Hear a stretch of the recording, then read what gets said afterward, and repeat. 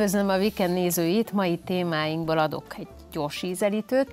A Vásáros Naményi Zoár napi sokadalom programját vesszük Gorcső alá nem sokára.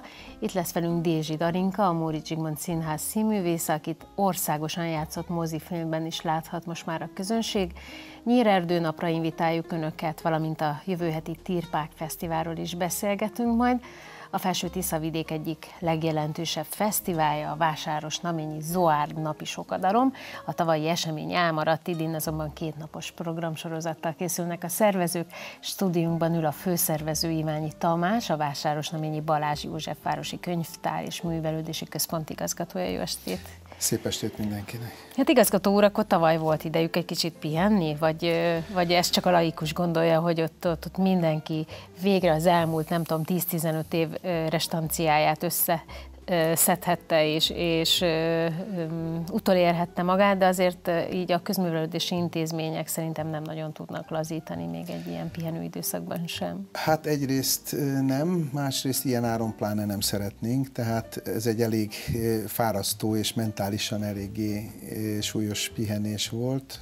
Tulajdonképpen egy egy örök bizonytalanság, hogy mi az, amit lehet, mi az, amit nem lehet, mi az, amit online mégis meg lehetne próbálni. Voltak azért online próbálkozásaink nekünk is, mint szerintem mindenkinek, és születtek ebből jópofa dolgok, amik persze azért nem helyettesíthetik az olyan rendezvényeket, ahol találkozhat a közönség a az előadókkal. Bár ugye beszéltünk arról, hogy lehet, hogy időnként érdemes lenne ezeket ötvözni, vagy gondolva azokra, akik valamilyen akadályozottság vagy fogyatékosság miatt esetleg nem tudnak részt venni, vagy akár csak jó érzés visszatekinteni egy olyan rendezvényre, amin, amin ott voltunk, úgyhogy, úgyhogy lehet, hogy egy ilyen köztes megoldás sok esetben jó lehet, de hát amiről most beszélgetünk majd, ugye a jövő hétvégén az a valóságban is megrendezésre kerül, és bizony benne, hogy az égiek kedveznek majd az időjárás tekintetében is, hiszen Zoár napi sokadalom lesz, mégpedig 17-én 18-án. Mi lesz a pontos helyszín? A helyszín az minden évben ugyanaz, bár minden évben felvetődik, hogy talán utoljára, hiszen ez a Felső Tiszavidéki Vízügyi Igazgatóság területe tulajdonképpen vannak komoly terveik ezzel a területtel, és mindig elhangzik, hogy az idén még igen, jövőre meglátjuk, de hát ez több mint tíz éve hangzik el ez a mondat, úgyhogy ismét a Kraszna híd és a környéke, a Kraszna árterülete az a megszokott katlan, aminek nagy előnye, hogy ilyen szép természeti környezetben, de mégis abszolút a belvárosban található, tehát gyalog is nagyon könnyen megközelíthető. Nos, ez kétnapos lesz ugye maga a rendezvény, tehát senki nem mondhatja azt, hogy nem értem rá, mert az egyik napon biztos, hogy tud magának időt szakítani. Gyakorlatilag mind a két napon ugyanazt a körítést megkapják, vagy azért van egyfajta tematika, és van különbség a két? Hát vannak állandó elemek, és vannak hát csak az egyik napra jellemző elemek is, illetve ami nem látható a plakáton, az az, hogy délelőtt ráadásul még autómentes nap is van, uh-huh. és ez elsősorban persze a városlakókat és a város intézményeiben tanuló diákokat mozgatja meg, de hát még ez is lesz péntek délelőtt, és ami, ami mondom végig, az végig várja a vendégeket, az a kirakodó kézműves vásár, a gasztronómiai elemek, tehát jót enni, inni mindkét nap várjuk a kedves vendégeket. Lesz valami speciális étel? Hát ezt a ö, ö, büfések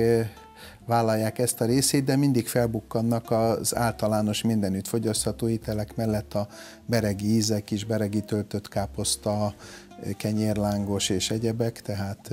Amit nem lehet megunni. Tehát... Természetesen, és azt lehet mondani, hogy nagyon helyes, hogyha valaki vigyáz a vonalaira, és diétázik, és csak zöldségeket de eszik, de, de nem ekkor kell ezt elkezdeni, sőt azt gondolom, hogy egy-két napra föl is lehet ezt függeszteni, ez a két nap mindenképpen a gasztronómiai örömöké is kell, hogy legyen.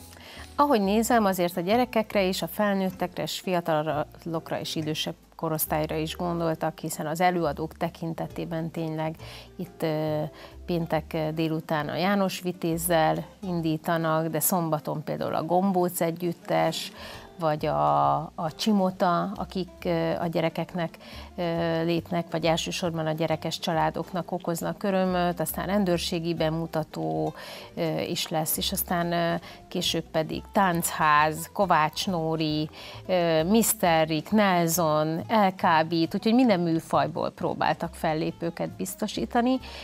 A ezek, tehát a színpad, azt gondolom, hogy akkor ott ezen a területen van fölállítva. Hát annyiban igaz is, meg nem is ez, hogy két színpad lesz. Uh-huh.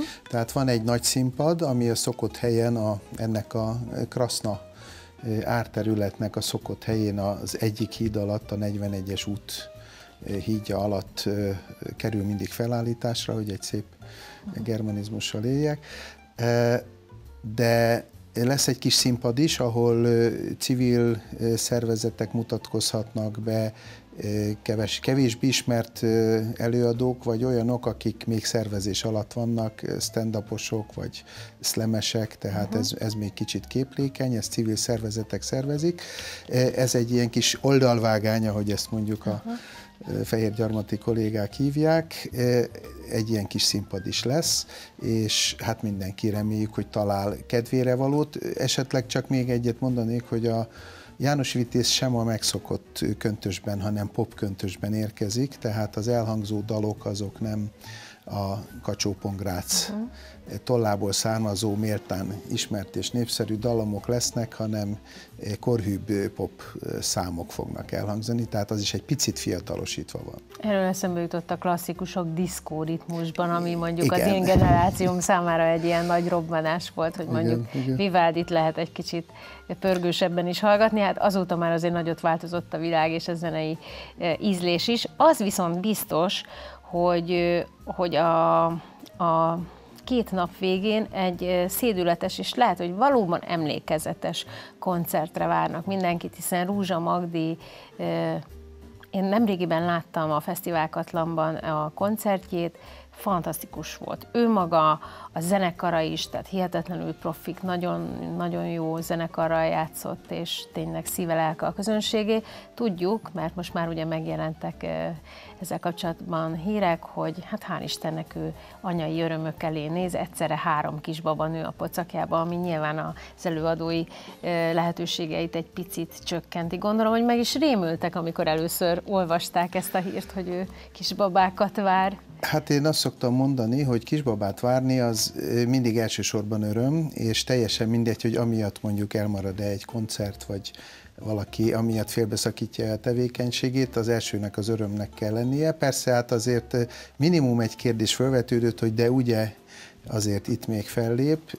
Én viccesen mondtam, hogy Hát szüksége van az itteni tiszteletdíjra is, hiszen három gyerekre sok pelenka kell, tehát gondolni kell a jövőre, de mi is úgy tudjuk, hogy az utolsó fellépéseinek egyike lesz itt, úgyhogy aki következő években élőben akarja Rúzsa Magdit látni, azt itt most még megteheti, mindenképpen jöjjön el. Egyébként hát Rúzsa Magdiban az a nagyszerű, én őt élőben utoljára a Presser Gábor 70. születésnapi koncertjén hallottam, ahol egy százongorával is lélegzett elállítóan énekelt, tehát neki igazából nem kell kétszer 5000 watt ahhoz, hogy nagyot szóljon, de persze olyan körülmények között is tud nagyot szólni, tehát minden, minden formában nagyszerű. Reméljük, hogy ez itt is ki fog derülni. Biztos vagyok benne, köszönöm szépen igazgató, sok Én is nagyon kívánok. köszönöm, és mindenkit szeretettel várunk Vásáros Naményben.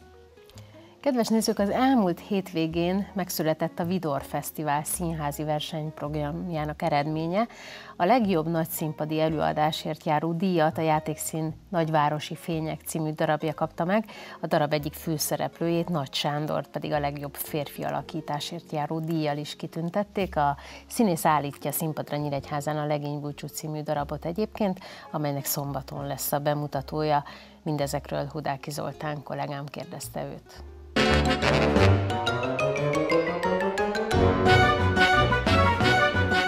Kezdjük akkor a nagyvárosi fényekkel. Elég nagy húzónév azért a te neved is, és Szente Valkés, aki a darab rendezője.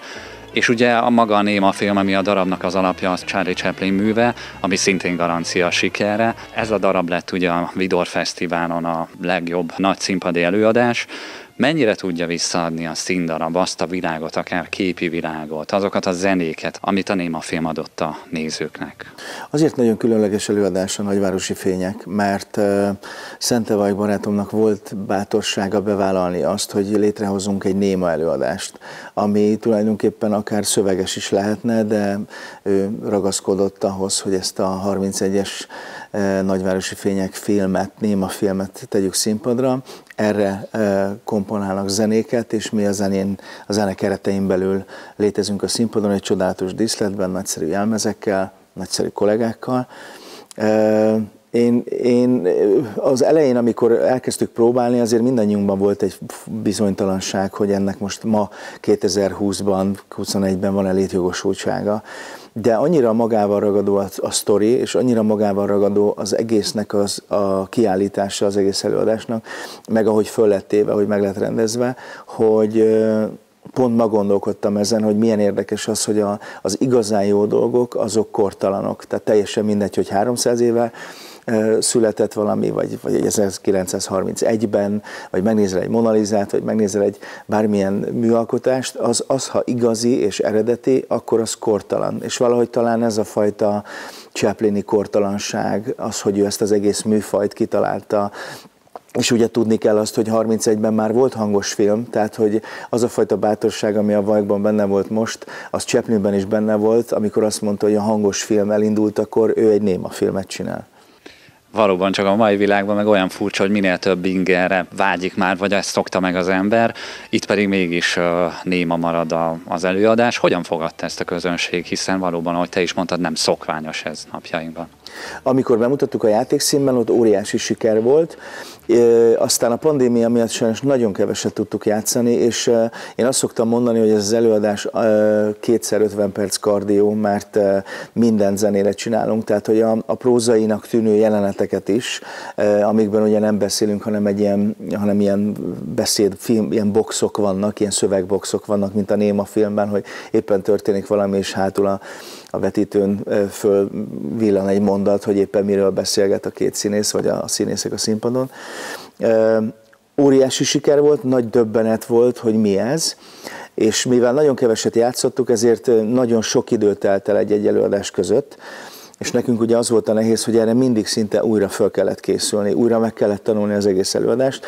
Nem volt ez más, hogy tulajdonképpen most itt Nyíregyházán sem a Vidor Fesztiválon, mert előtte két hónapja játszottuk a Városmajorban, és két hónap az két hónap. Szóval egy ilyen előadást minimum hetente játszani kell ahhoz, hogy az embernek a zsigereiben ez benne legyen. Itt a Nyíregyházi közönség a Vidor Fesztiválon egy picit visszahúzódó volt az elején, tehát szerintem kellett egy 10-15 perc, amíg, amíg rájöttek, hogy ez micsoda, amíg, amíg fölvették ezt a fonalat, az, az egésznek a képi világát, hogy most ez miről fog szólni, mi, milyen a hangulata, eh, hogyan fog ez az elkövetkezendő két óra zajlani, de 15 perc után én azt gondolom, hogy mindenki, mindenki odáig volt, és már a szünetben arról beszéltek, hogy ez egy milyen nagyszerű és különleges előadás, és hát a végén meg iszonyatosan nagy ovációt kaptunk, hála Istennek. Hát a díjakról meg nem is beszélve mindjárt a díjakra ki is térünk, te játszad a darabban a csavargó szerepét, akit ugye a filmben Charlie Chaplin alakít. Mennyire nehéz, nehéz egyáltalán visszaadni, vagy hozni azt a figurát, amit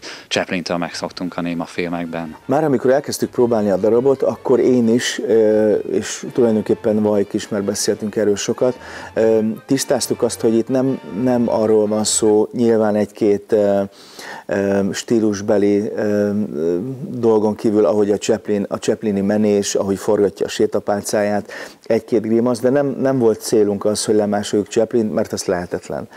Tehát, hogy ő annyira egyedi volt, és annyira, annyira zseniális volt, hogy, ha valaki szerintem megpróbálja Chaplin-t utánozni, úgy igazából, az biztos, hogy nem fog sikerülni, mert, azt, mert ő csak egy volt, belőle csak egy volt hanem inkább azt a fajta szellemiséget, amit ő képviselt egész életében, vagy adott esetben csak ebben az egy filmjében, azt a fajta lelki világot próbáltuk meg inkább a, a színpadra tenni, és szerintem pont ez a sikere az előadásnak, hogy nem egy utánzásról szól a történet, hanem nekünk van egy saját darabunk, egy saját társulatunk erre, és, és mi ezt így képzeltük el, a Vajk ezt így képzelte el, és, és szerintem ettől, ettől ilyen nagy siker. Az alakításod olyan jól sikerült, hogy te kaptad meg a legjobb férfi alakításért járó díjat, amihez gratulálunk. Köszönöm szépen. A darab pedig megkapta a legjobb nagy színpadi előadás díját. Nyilván erről a zsűrit lehetne megkérdezni, de te hogy látod, hogy azért elég sok előadást láthatott itt a közönség. Mi az, ami a zsűrit mégis ebben a darabban fogta meg a legjobban? Minek köszönheti leginkább a sikerét ez a darab? Erre pontosan akkor tudnék válaszolni, ha láttam volna az összes többi előadást is, de nem láttam sajnos egyet sem. Szerintem ez annyira különleges, annyira kuriózum, mind kiállításában, mind alapötletében ez az előadás, hogy hogy szerintem ez fogta meg a zsűrit és a nézőket is, hogy, hogy ennyi díjat kaptunk. És valahol ebben az előadásban nagyon sok minden van, én azt gondolom olyan értelemben is, hogy ha belegondolsz, akkor egy, ezt országhatárokon kívül is mindenféle fesztiválokon tudjuk játszani, mert nem kell megtanulni más nyelven, hanem a szövegboxokat kicseréljük japánra, angolra, franciára, németre, és bárhova tudjuk vinni a világon, bármilyen fesztiválra, mert, mert amit meg kell, hogy értsen belőle a néző, azt az alapján megérti. Te állítottad színpadra itt Nyíregyházán a Móri Zsigmond Színházban a Legény Búcsú című darabot, aminek most szombaton lesz a bemutatója. Ez azért már jóval másabb kor, jóval másabb műfaj. Röviden mi a történet? A legénybúcsú történet, amit Szentevaj barátom írt, rendezett és játsza benne velem a főszerepet, az az, hogy két legjobb barát legénybúcsút tart, és jelen esetben az Alex nevű férfi szereplő, akit a Vajk játszik, Simonnak, vagyis nekem próbált meg, ugye ez egy játékszíni premier volt, ezt a, a Vajka játékszínbe érte ezt a darabot, és legénybúcsút szervez nekem, és a, a mennyasszonyom úgy tudja, hogy ez egy biciklitúra lesz valahol egy bányásztó körül, és egy idős házaspárnál töltjük az éjszakát társasjátékokkal megtűzdelve. Ehelyett mi egy hotelszobát béreltünk ki, és kaszinó, és striptisztántos nő, és nem tudom, call Na és hát ugye, és a lagzipénz ott van nálunk egy táskában, na most ebből a fajta hazugságból aztán rengeteg-rengeteg félreértés származik, nem az jön, akit rendeltünk, a, a lagzipénzzel is adódnak gondok, szóval nagyon-nagyon fordulatos, nagyon-nagyon vicces előadás, és, és zseniálisan magáévá tette itt a Nyíregyházi társulat ahogy említetted, itt te játszod ennek a főszerepét is a játékszínben. Itt nem is volt róla szó esetleg, hogy te játszod a főszerepet is, vagy nem is fért volna ez most benne neked? Az igazság az, hogy most egy olyan kohézió alakult itt ki a Nyíregyházi és a, a Pécsi Színház és a játékszín között, hogy azt találtuk ki, hogy a Szentevajk rendezését én színpadra teszem itt Nyíregyházán, majd aztán Kaposváron, Pécsen, de igazából Kaposváron lesz ott a bemutató majd februárban, ugyanúgy, mint ahogy itt az ottani társulattal.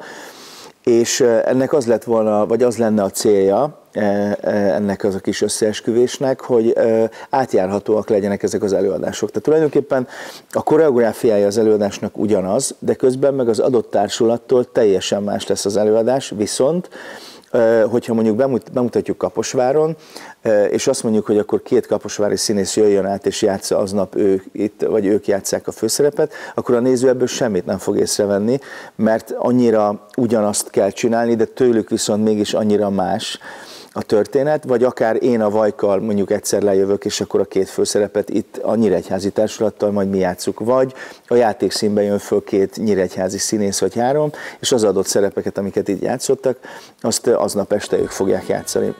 És én nagyon szeretem ezt a kezdeményezést, mert, eh, mert eh, én nagyon szeretem, hogyha a vidéket a fővároshoz közelebb visszük és fordítva. Kiknek szólhat ez a darab? Kik azok, akik a leginkább élvezhetik? A legénybúcsú szerintem vannak ezek a társasjátékok, amikre rá van írva, hogy 0-tól 99 éves korig. Szerintem a legénybúcsú egy ilyen előadás, hogy, hogy tele jópofa poénokkal, tele jópofa félreértésekkel, szövegpoénok, helyzeti poénok, és tényleg egy olyan önfelett szórakozás két és fél órán keresztül, amikor a néző úgy jön ki, hogy, hogy, hogy elfáradt a, a nevetéstől. Tehát, hogy én azt gondolom, hogy kortárs ö, ö, tekintetben nincs még egy ilyen ö, magyar végjáték, mint a legény búcsú. biztosan itt is nagy siker lesz.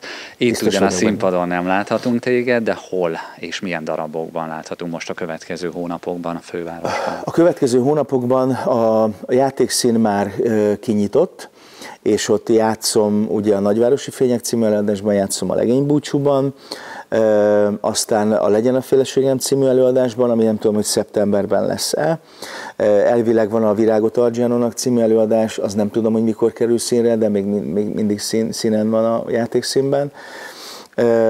Aztán a Malács Színházban a Jézus Krisztus Superstar indul majd októbertől, játszom a Puskás musicalben, aztán játszom az Orfeumban egy vacsora színházban, az Elek Feri, a Dorjáni Bálint, Fenyő, Fenyő Iván és jó magam, az Apát Füle címmel, és a játékszínben még tudja, hogy van előadásom, ami már csak most nem jut eszembe. Szóval most, most ami inkább beindul, az a, az a játékszín.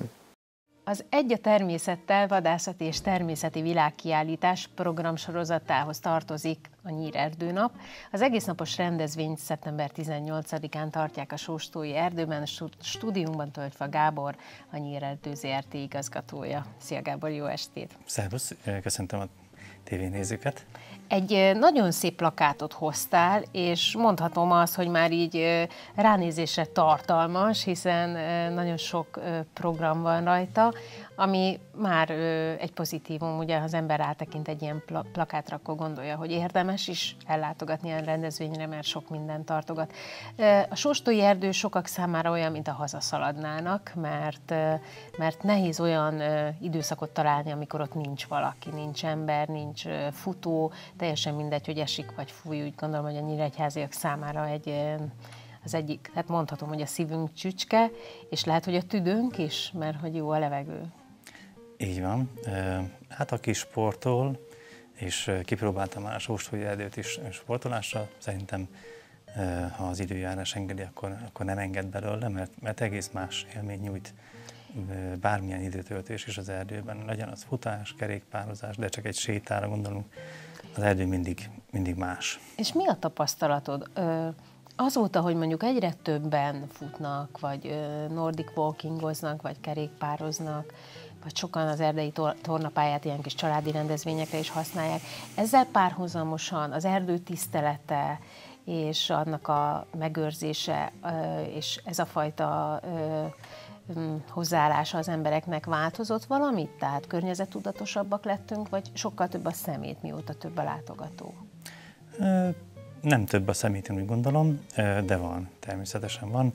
Nyilván vannak szemetesek kihelyezve, amit használnak az emberek, de azért gyerekcsoportoknak mindig azt szoktuk mondani, meg javasolni, hogy nem azért van kint szemetes, mert azt használni kell, az egy szükségmegoldás, és mindenkit arra szoktunk kérni, hogy a szemetet, amit valamilyen módon keletkezik az erdőben, azt, azt ne hagyja ott, hanem, hanem vigye haza, mert ez a, ez a normális. De természetesen erre erőt, időt, energiát fordítunk, hogy rendben legyen.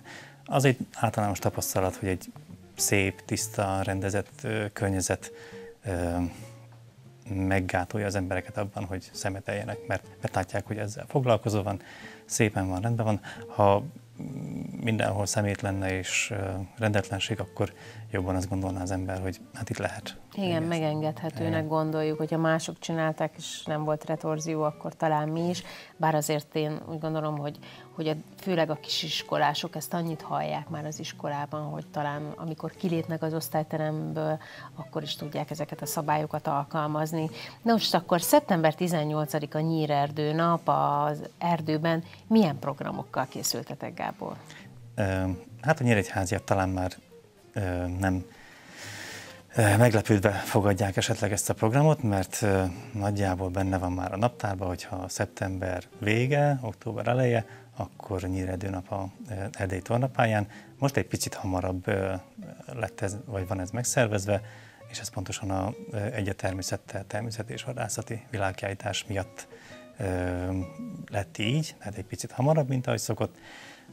A programok nagyon szerteágazóak és nagyon színesek, én úgy gondolom, ahogy, ahogy a plakát is kinéz, ezt sugalja a, a tervezett tartalom is. nagyon sokféle programmal várunk mindenkit. Mi az, ami a te szívecsücske? Melyik a kedvenced a programok közül, amit most itt a nézők is láthatnak, mert csak beszéltünk erről a szép plakátról, most kollégám meg is mutatja, hogy itt a szép zöldes, sárgás tölgylevelek között megbújnak a, a magyar betűk, tehát a szöveg is, hogy mi minden lesz? Én nem tudnék igazából kedvencet mondani.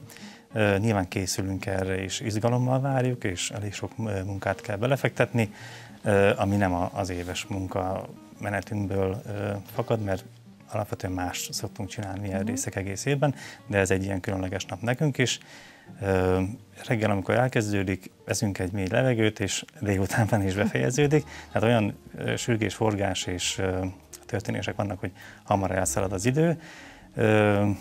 Nem tudnék mondani kedvenc programot. A futás az egy, az egy jó indítás, úgy gondolom reggel. Bemelegítés gyanánt. Így van, 10 órakor kezdődik.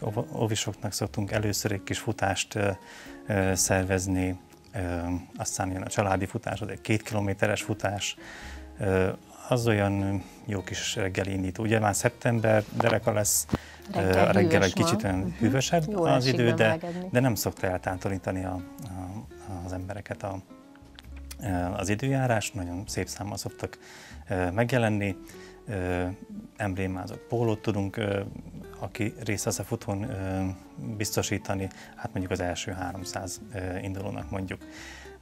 És ha a futás lezajlik, ott természetesen a, a díjazottakat díjaz, az, a helyzeteket díjazni fogjuk, illetve tombolán tud részt venni minden egyes futó, amit a nap folyamán húzunk ki, értékes nyereményekkel, belépőkkel, helyszínen levásárolható ajándékutalványokkal. A fődíj az tűzifa, ebben az évben is 10 mázsa hasított akár szűzifát tudunk biztosítani a szerencsés nyertesnek. Hát volt már olyan, hogy egy hatodik, hetedik emeleten lévő család nyerte, de szerintem ők is meg tudták oldani, hogy, Biztos van hogy olyan jó helyre kerüljen.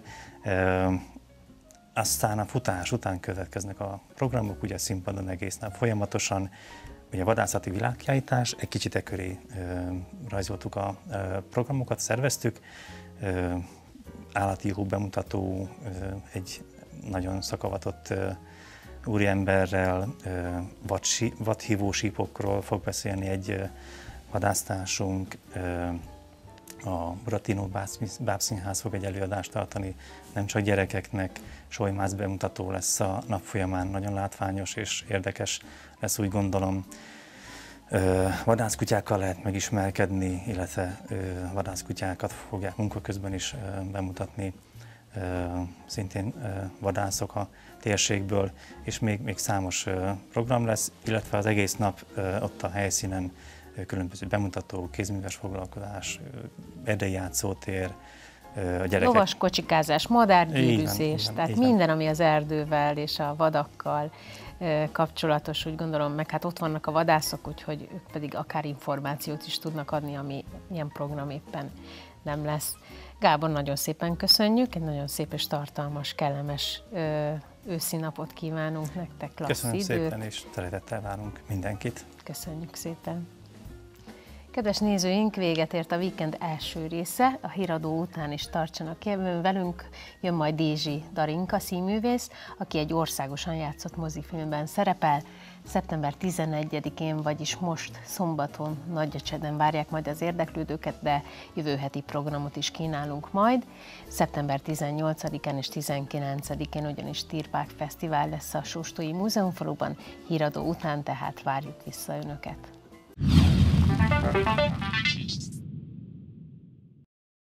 Ez pedig már a Weekend második része. Dézsi Darinka közvetve már szerepelt mai adásunkban, ő is játszik ugyanis a Legénybúcsú című darabban, amelynek szombaton lesz a bemutatója a Móri Zsigmond Színházban. Most azonban egy olyan országosan játszott mozifilmről beszélgetünk, melynek egyik főszerepében láthatják Darinkát a nézők. Ez a Mentés másképp című film, a filmnek számos érdekessége van, többek között az is, hogy egy csapat hajdúböszörményi fiatal összefogásával és mindössze 5 millió forintos költségvetésből készült el. Na hát a részleteket Daninkától kérdezzük. Szia, jó estét! Szia! Hát először is gratulálunk. Én magam még csak az előzetes be tudtam belepillantani, gyönyörű vagy, mint mindig, és hát ugye egy különleges szerepben egy depressziós lány szerepébe kellett bújnod, Először is mennyire, jó, nyilván színésznőnek bármilyen szerepbe bele kell tudni helyezkedni, de mennyire megterhelő mondjuk egy, egy negatív ö, lélek jelenlétet folyamatosan, hiszen az ugye időben egy hosszú idő, amíg egy film elkészül produkálni. Igen, mm, Hát én öt napot forgattam, jól emlékszem, vagy hatot, nem is tudom már, és ugye hát ez nagyon intenzív volt, mert rengeteg jelenetet vettünk akkor föl ezekben a napokban, és igen, amikor 8-11 ére is csinálod ugyanazt, és ugyanúgy jön a könny, meg megtermeld magadban azt az állapotot, az, az egy kicsit kimerítő tud lenni úgy nap végére. De nagyon izgalmas volt még Sos. Az volt az érdekessége, bocsáss igen, meg, igen. hogy nagyon nehéz volt nekem nézőként összerakni, hogy lehet 5 millióból csinálni egy ilyen filmet. Mm. De az ember azt szokja meg, hogy, hogy ilyen fe, ö, felmérhetetlen számokat hallunk hollywoodi produkciók igen, kapcsán, igen. nem tudom hány millió dollár, és hogy mekkora gázsik. Nyilván ez sajnos, ugye a színészeknek azt jelenti, hogy nincsenek ilyen gázsi hegyek, viszont az, hogy egy minőségi ö, alkotást lehet készíteni viszonylag kevés összegből vagy pénzből, az ugye két kérdést veszt föl. Akkor a többieknek miért kell olyan sok? Vagy mi lett volna akkor, hogyha ti nem 50, hanem 500 millióból készítitek ezt a filmet? Azt kell mondanom, hogy nem rajtunk spórolt a rendező. Mi egész szép gázsikat kaptunk a forgatási napokra, hanem volt osztálytársak voltak, a sminkesek, a fodrászok, és, és az összes, összes tábmunkát ők, ők végezték. Úgyhogy rengeteg családtag és barát, tényleg ilyen hatalmas szívvel készült ez a produkció, érződött minden, minden pillanatban és azt, azt is mondta Gábor, Rózsa Gábor a rendező, hogy az a célja, hogy a visszafolyt összeget oda tudja adni azoknak az embereknek, akik akkor csak szívességből dolgoztak. Mm, állítólag egy nagyon magával ragadó történet, nagyon sok fordulattal. Te hogy csöppentél amúgy a filmbe, vagy, vagy miért volt kihívás elfogadni ezt a szerepet?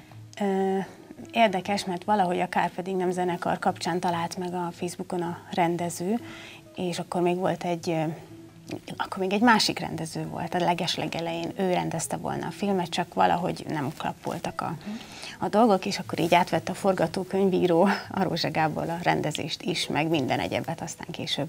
És um, ah, kaptam először egy telefonhívást, éppen otthon voltam vidéken, kutyákat sétáltattam az erdőbe, és akkor így elmondta, hogy körülbelül mi ez a film, mi ez a szerep.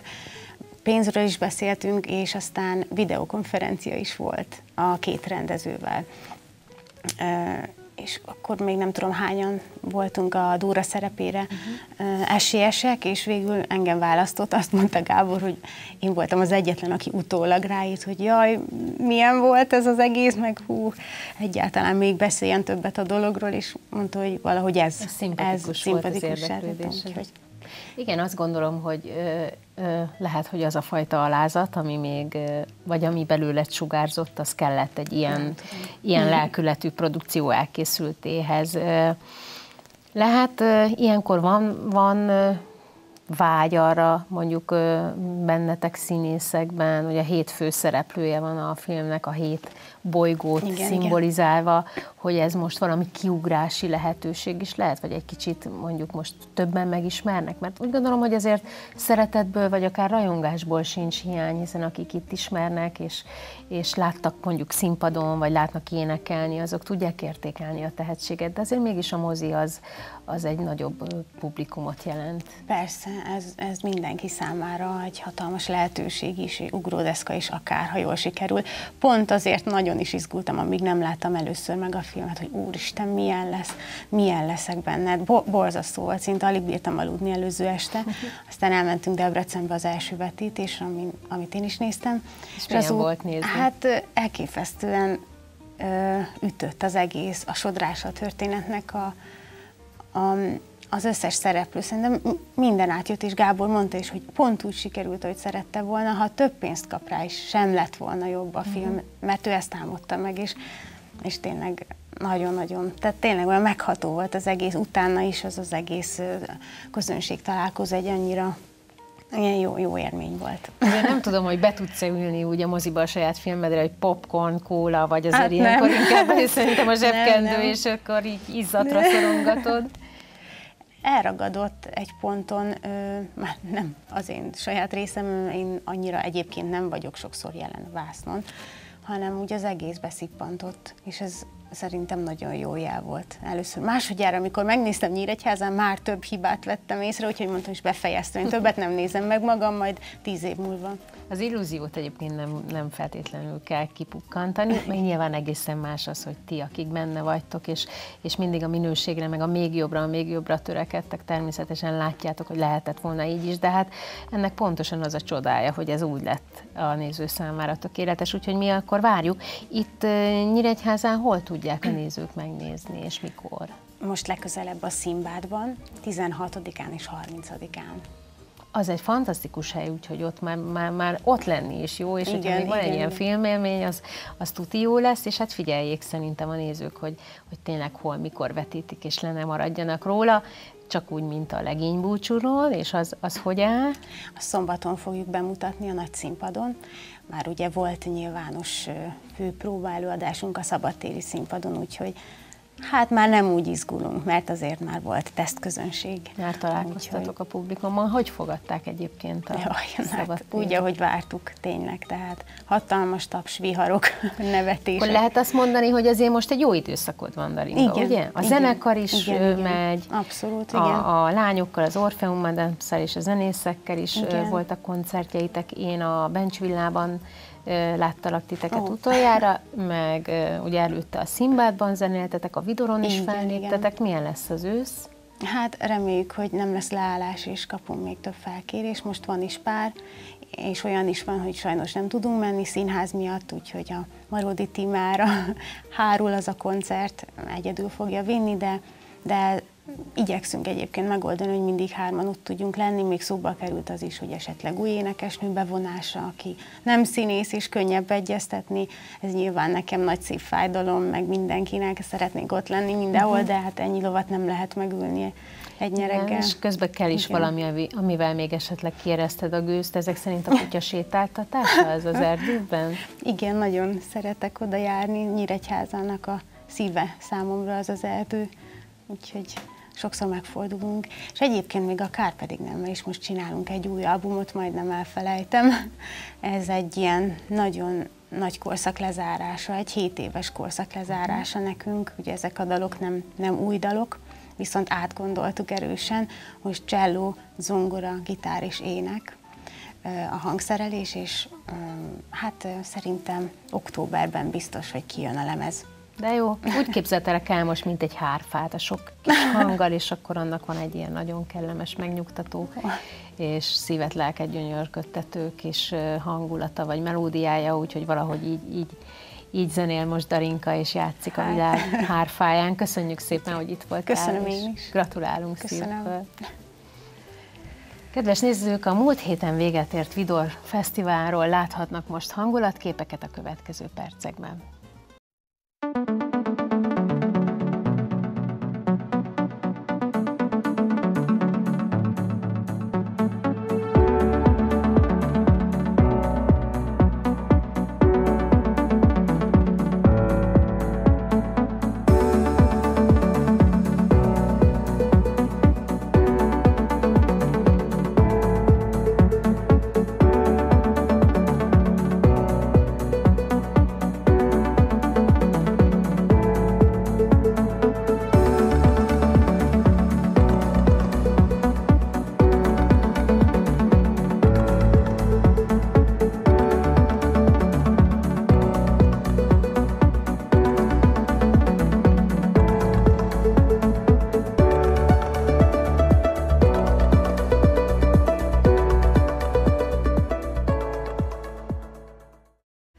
Szombaton rendezik meg Nagyecseden a Szatmár határok nélkül című rendezvényt. Vendégem Fülöp István, a Reformátusok Szatmárért Egyesület elnöke. Jó estét kívánok, elnök úr!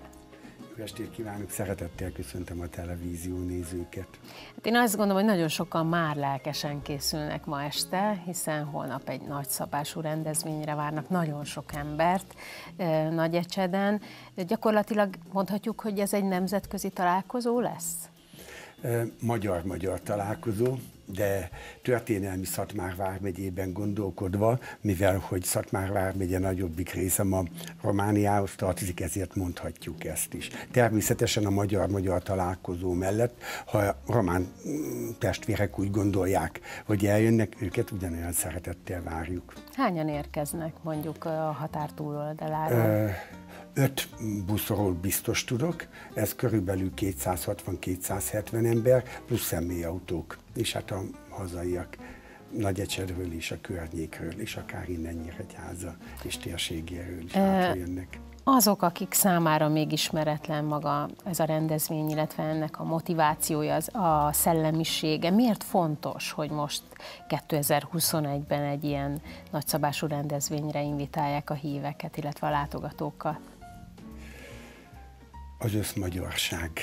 Mi, akik létrehoztuk ezt az Egyesületet 2011-ben, akkor úgy gondoltuk, hogy azok az értékrendek, amit a kereszténység a reformációban, vagy akár ezt követően megfogalmazott, most egy trianoni határokkal szabdalt megyében különösen fontossá vált. Az összetartozás érzése. Amikor átmegyünk nagy Károlyba, Börvejbe, Szatmárnébe, Szatmárnémetibe sorolhatnám a Szatmár megyei településeket, akkor rájövünk, hogy hasonló gondolkodású emberek élnek ott is.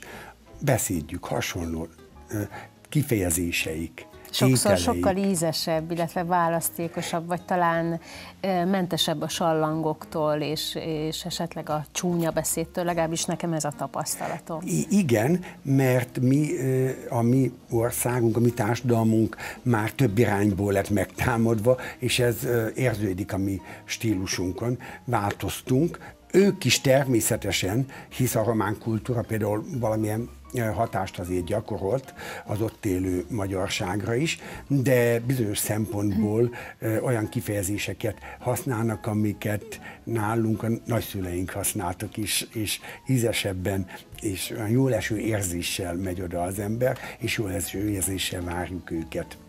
Nos, akkor egy picit mutassuk be a holnapi napot kronológiai sorrendbe. Ahogy én a plakátot látom, 10 órakor egy nagyszabású istentisztelettel indul tulajdonképpen a rendezvény. Mi lesz még? Hát a nagyszabású Isten tiszteleten három püspök tisztel meg bennünket, ez is jelzi, hogy most ez egy különleges alkalom.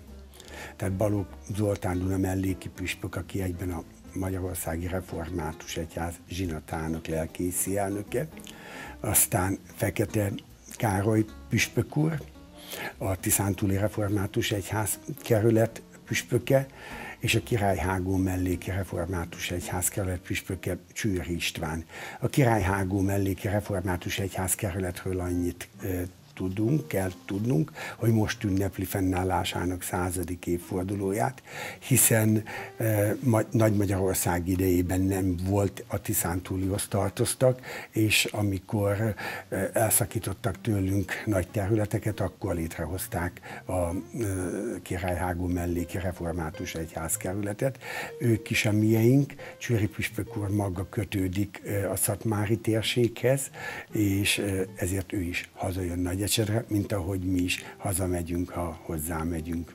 Úgy gondolom, hogy az ő nevük, illetve ez, a, ez az Isten tisztelet már megadja gyakorlatilag az egész napnak azt a fenkölt hangulatát és az összetartozás érzését, ami végül is, ahogy elmondta elnök úr, magának a, az Egyesületnek a létrehozatalában is ugye egy döntő szempont volt. Az Isten tisztelet után pedig folytatódik az ünnepség, ha mondhatjuk ezt, mégpedig kitüntetések átadásával. Kik lesznek azok, akik ezeket a kitüntetéseket kapják, illetve átadják? Hát miért is hoztuk létre ezt a kitüntetést? Milotai Nyilas István püspökről neveztük el, hiszen ő Milotára való, és volt egy közös gondolatunk Esperes úrral az Egyesületen belül, hogy legyen a díj Milotai Püspök úrról elnevezve, és az egyház megye és az Egyesület közösen adja annak a személynek, aki abban az esztendőben, vagy az elmúlt időkben sokat tettek az egyház megyért, az Egyesületért, vagy egyáltalán e, Szatmár megyért, a Szatmár reformátusságért, a szatmári családokért, e, a nemzet azon részért, akik jelenleg a keleti részen laktak, legyen ez a romániai Szatmár vagy a magyarországi Szatmár megye, és így esett a választás Novák Katalin miniszterasszonyra, és nem kellett egymást győzködni, amikor fölmerült a neve. Mindannyian egyetértettünk, hogy ő sokat tesz a családokért, és túl a Dunántúli vagy budapesti családok mellett a mi megyénkben élő családokért is. A református értéket is őrzi, ápolja, hiszen ő maga is református. Ennek ellenére adjuk katolikusoknak is a díjat, például Lezsák Sándor elnök úr már megkapta ezt a díjat hithű katolikusként, tehát nem feltétlenül kell felekezethez van. Felekezethez, inkább az, hogy tesz ezért a vidékért, mint ahogy Lezsák elnök úr is sokat tett, Novák Katalin miniszterasszony is. Hát ez is a határok nélküliséget szimbolizálja, akár csak majd az, szerintem az azt követő hangulat, ami egy határtalan jókedvet garantál, hiszen ahogy itt olvasom, hagyományőrző programok, gasztronómiai bemutató, és gyakorlatilag mivel a családokat várnak, gondolom, hogy a család apraja nagyjának a kulturális, illetve a gasztronómiai ízlésének megfelelő programot is rejteget, és hát kézműves bemutató, gyermekprogramok, tehát mindenféle ingyenségek, a végén pedig egy nagyszabású koncerttel záródik, úgyhogy ennek szerintem csináljunk mindenképpen kedvet, mert sokan messziről is szerintem autóba ülnek és elmennek, ha egész nap nem is tudnak jelen lenni, de a koncertre biztos nagy kedvel. Múltkor kérdezték tőlem, barátaim, hogy milyen korosztályú embereket várunk. Hát egyházi rendezvény biztos időseket. Minden korosztályból várunk. Lesz imasátor kimondottan fiataloknak.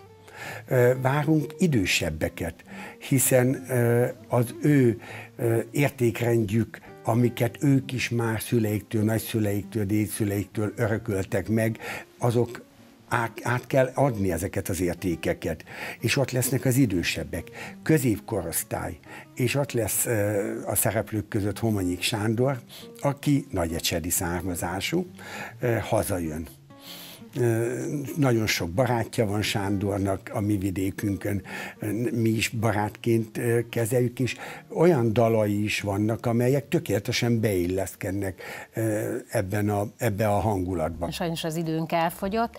Én azt gondolom egyébként, hogy a zene is határtalan, és hogyha jó, jó a zene, akkor igazándiból mindegy is, hogy milyen rendezvényen vagyunk, mert az egy szívet gyönyörködtető dolog. Én leg, nem is olyan régen voltam egy rendezvényen, ahol például egy református lelkész rock csapata játszott, és a hívei ott álltak az első sorban, presbiterek is, és ott voltak, és rockzene szólt, úgyhogy az is egy felemelő érzés volt. Köszönöm szépen, Én is nagyon hozzánk. szépen köszönöm. Kedves nézők, mi pedig egy kis programajánlóval folytatjuk a műsort. Música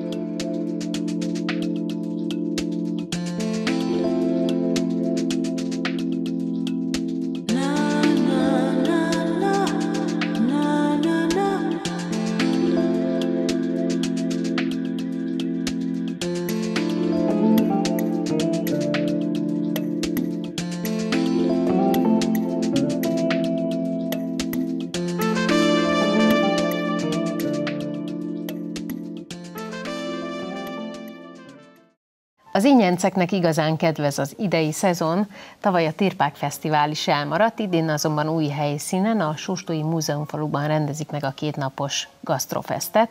Szeptember 18-án és 19-én nem csak kóstolni várják a hagyományos konyha kedvelőjét, kulturális programok is színesítik majd az eseményt. Vendégünk a Nyíregyházi Önkormányzat kulturális referense Szapó Tamás. Szia Tamás! Szervusz, üdvözlöm én is a nézőket! Jó estét! Jó hát, estét! Nagy az öröm, nagy ugye, az... hogy ismét nagy kanállal leszünk, és a Sóstói Múzeum falu gyakorlatilag azért úgy gondolom, hogy szépen rezonál ugye a gasztronómiai programokhoz.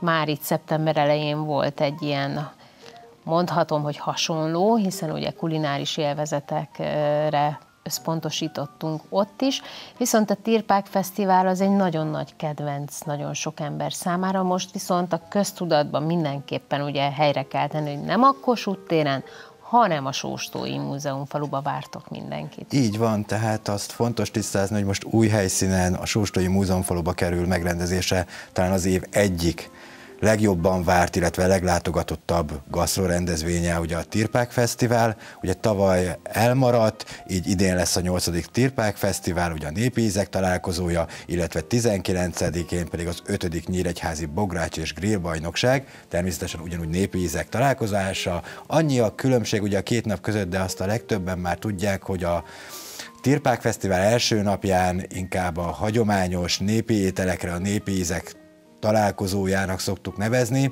Még másnap egy kicsit kötetlenebből sokfajta újraértelmezését a népi ételeknek meg tudjuk kóstolni. Idén is lesz sportos halászlé, uh-huh. tehát hogy De ott már a kreatív, akkor már a modern ízek? köntös előtérbe kerül.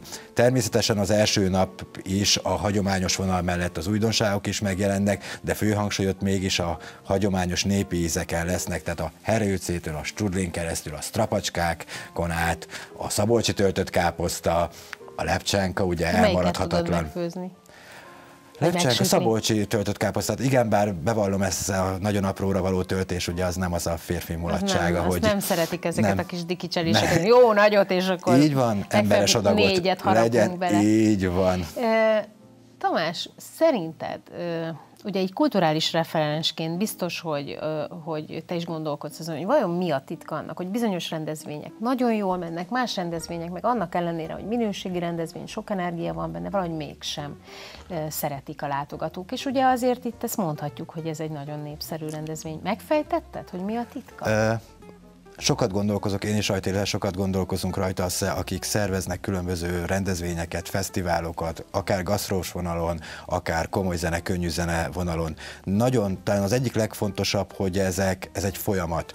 Még egy rendezvény vagy egy fesztivál beérik. Kell egy bizonyos kötődést találni az emberekhez. A múzeumfalu azért is szerencsés helyszín, hogy ezt a kötődést még jobban meg tudjuk erősíteni az emberekbe. A Tirpák Fesztivál titka talán az a valahol mindenkiben meglévő közös múlt, közös hagyományokra való épült, építkezés, ami most már ugye egyre távolabb kerül ettől a hagyományos életviteltől az egész társadalom, végig valahol felidőződik valami érzés az emberben, vagy emóciós töltet, ami Még a miatt nagymamáink a nagymamák ízei, azok a házak esetleg, hogyha falun éltek a nagyszülők Így van, dédszülők. illetve a generációk közötti ismeretátadás is itt tud megvalósulni. Hisz ugye beszéltük, hogy ez egy herőce, nagyon sokan fognak nézni, hogy micsoda. Én azt egyébként én sem tudom, mi ez a herőce? Hát ezt így, ezt így is mondjuk így- hívják, de a csörögét mondom, az úgy egyszerű mindenki Igen, számára. úgy ismerem. De ugye itt el lehet mesélni, akár ha elmegyünk a Jágmajtisi portára, a jármira,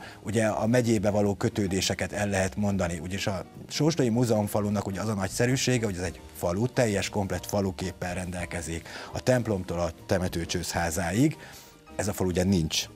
Viszont a megyében megtalálható településekről jellegzetes népépítészeti műtárgyak kerültek beemelésre, tehát azt ugye helyre kell rakni, hogy itt nem, megépít, nem építettek ilyen házakat, hanem a meglévő házakat áttelepítették, tehát minden háznak megvan a története, az ott lévő, a benne élők által felhalmozott összes töltet megtalálható bennük, és ugye sokan Nyíregyházán élnek, de van nagyszülők, kisebb településre, és amik rátalálnak a házra, akkor már egy plusz nyújtanak, ehhez ha találkoznak ízekkel, amit talán emlékezteti őket a gyerekkorukra, vagy akár a édesanyja csinálta utoljára ilyen finoman, az azért sokat hozzátesz a rendezvény sikeréhez is. Természetesen emellett meg kell jeleníteni minden rendezvényen a ezen túl egy könnyed szórakozási lehetőséget. Ugye erre könnyű zenei együtteseket kértünk idén is fel, illetve néptánccsoportokat, de emellett a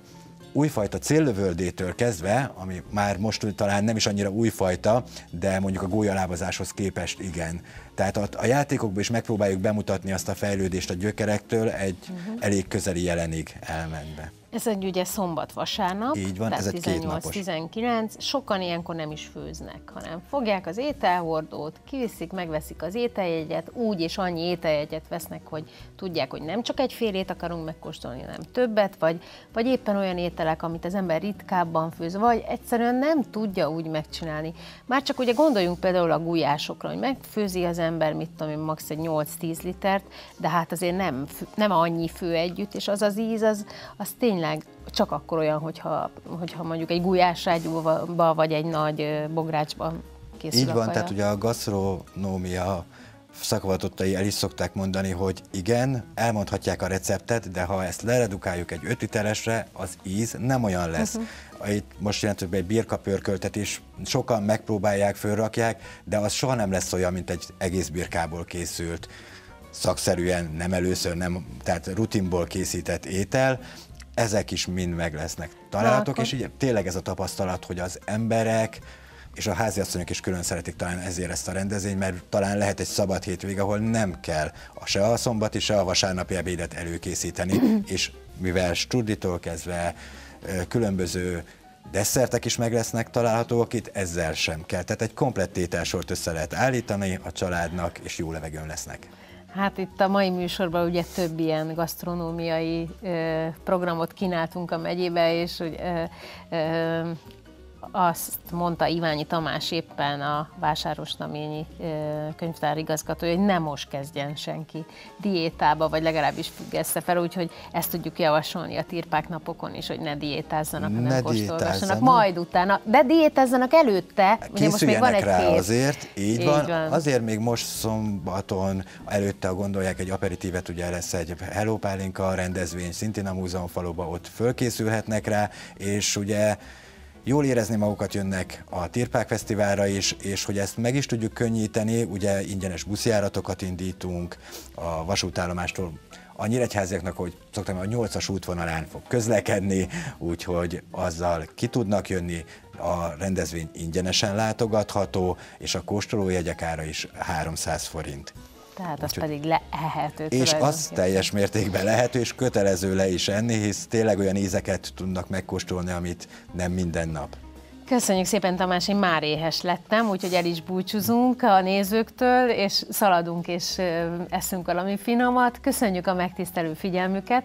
Hát tartsanak velünk a jövő héten is, és reméljük, hogy nagyon szép lesz a hétvégéjük. Jó pihenést kívánunk, viszontlátásra!